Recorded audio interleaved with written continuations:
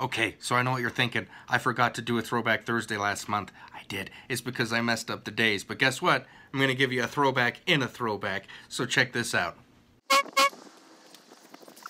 Wow.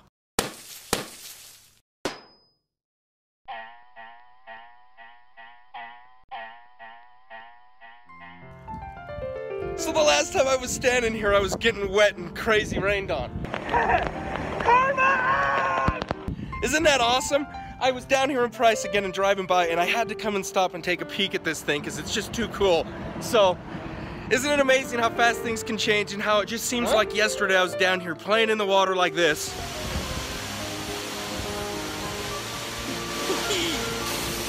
ah! And now here we are, sitting in a frozen tundra looking at that. Isn't that incredible? It's just like karma, things can change in a heartbeat. So anyway, I'm gonna kind of play around here for a minute. Check this thing out. We'll see you a little later. Like, share, subscribe, follow. Karma out.